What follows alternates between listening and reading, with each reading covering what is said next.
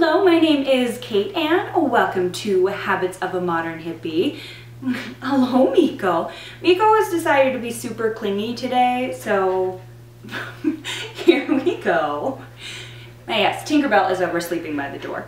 Today's video is all about how to identify and use five herbs that are great for when you're hiking. I live here in Colorado and love to hike with the fluffs all the time.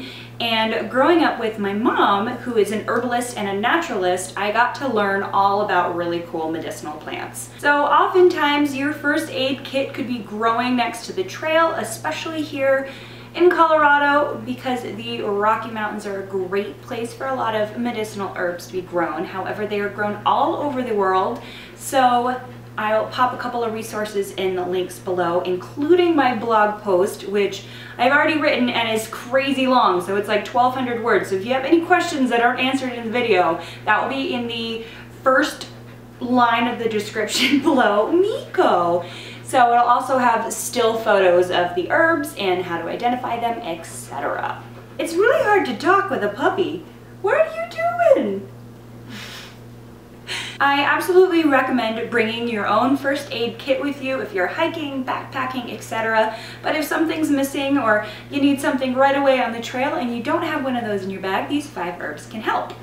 So I will start out with probably the most useful herb, and that is yarrow. Yarrow or Achillea millefolium, which I'm probably saying completely wrong is the real name for it. The name of it, Achillea, comes from Achilles, which is fun, but there are many fables that say he used that herb to actually stop bleeding in some of his soldiers and save their lives, which is kind of a cool way where that name came into play. But like I said, it is a styptic, which means it helps stop bleeding like you're thinking about those styptic pencils that you use for grooming your pups. Essentially, a styptic is something that contains alkaloids that help blood clot quicker. You can use yarrow as a poultice, which is kind of you just ground up or mash up the full herb with a little bit of water and press that onto whatever's bleeding. Or in some cases, if it's easier and you just have a little scrape, you can actually use a yarrow leaf and just spread it on top of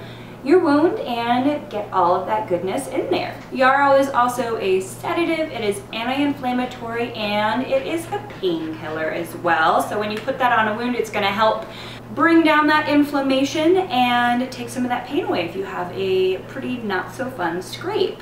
If you watched my latest vlog with the pups, I'll link it up above, up in Steamboat, which is actually where I got these pictures and little videos that I'm popping up here somewhere of the herbs. You'll notice my mom actually tripped over a log and had a big scrape down her leg and used some yarrow to help stop that bleeding. Now the biggest part is identifying and I am going to say this and I will say this for each one but absolutely make sure that you're 100% positive what the plant is before you use it.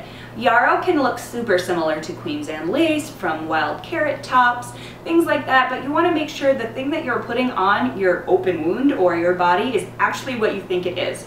So at the end of the video, I'll show some books that help out. So if you do find a plant on the trail and you're not quite sure if it's what you're thinking it is, don't use it. Yarrow can grow to almost three feet tall. It has beautiful white flowers that look a little bit like Queen's Anne lace, if you know what that is. Yarrow leaves, as the plant grows, alternate on either side of the stalk, and they look like little ferns. So a single stalk with lots of little tiny leaves coming off of them as well. The Next herb that is super helpful is called mullein or Verbascum thapsus. Once again, probably said that wrong. So mullein leaves are both anti-inflammatory and antibacterial, so they make for a really great bandage on the go. If you don't have a band-aid on you, you can slap a little bit of mullein leaf on. Because mullein leaves are fuzzy, some people can have a little bit of a skin reaction to the leaf, so test it out first. The thick leaves are also really great for padding if you have super achy feet. You can line the bottom of your shoes with them because they're nice and plush. The last thing, mullein is really great in tea. You probably won't use this unless you're like full on backpacking in the winter or fall when colds and flus and things like that are common. But Mullein leaves steeped in hot water are a really great way to soothe your mucous membrane. So if you're coughing or sneezing or any of that crap stuff, you can do that. However, you want to make sure that you only take um, a few cups at a time because your body's not going to be used to it and you can overdo it, just like you can with most teas. I use mullein in tea all the time. One of those actually the first one on the bottom up that you can see hanging over there is Mullein. And once again, before you put anything on your body or in your body, check with a professional. It's nice that I grew up with my mom, but make sure you know what you're doing. Oh, identifying. So Mullein leaves grow in a rosette. Just like you think of rose petals, they kind of fold around each other, growing out of the earth. The leaves are big and fuzzy, and the actual plant shoots out this really fun stick that is covered in yellow flowers and those can grow up to six feet tall. There were some mullein right around my house on the river last year that was taller than me and I'm 5'6", so it kind of makes sense.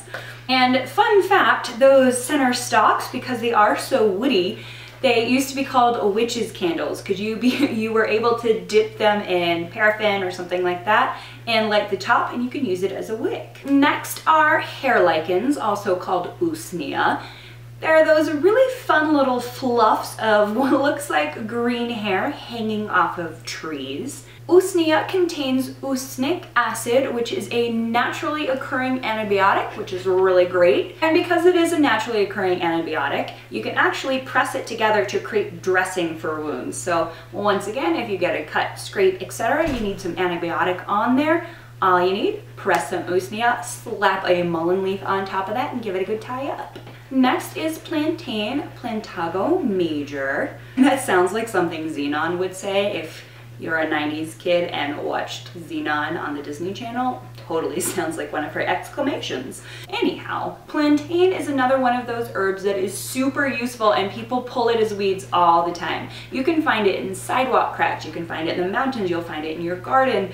It is all over the place. Anywhere where there's broken ground, like think construction sites, it's gonna be there. So plantain leaves are anti-inflammatory. They contain antibacterial flavonoids, and they have astringent tannins which can help with stopping bleeding as well. Those leaves can be once again mushed up into a poultice so adding filtered water, make sure that these waters are filtered. You want to take like stream water that has a bunch of bacteria in it. You want like filtered water that you brought out of your water bottle and mash up the leaves to make a, a nice little goopy poultice and put it on whatever is ailing is really good at soothing in general. So insect bites, stings, poison ivy, rash, sunburn, all of that is going to help calm down. Plantain is another one of those plants that grows in rosettes. Once again, all of those leaves kind of wrap around each other. The leaves can be up to seven inches long and it has a single stalk